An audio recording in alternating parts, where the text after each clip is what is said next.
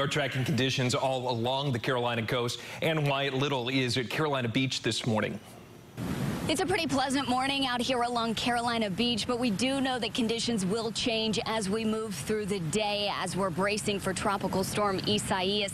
Some of the biggest impacts, heavy rain, strong winds, and of course the potential for power outages. That's something the mayor here tells me they are concerned about. She says extra staff is on standby. They've already gassed up emergency vehicles and they are prepared.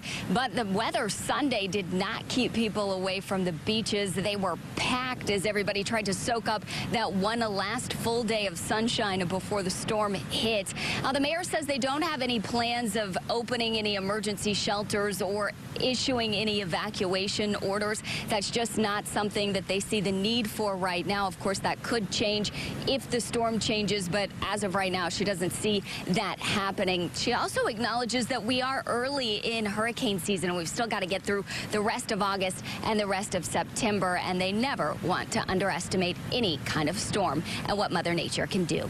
Reporting along Carolina Beach, I'm Ann Wyatt Little.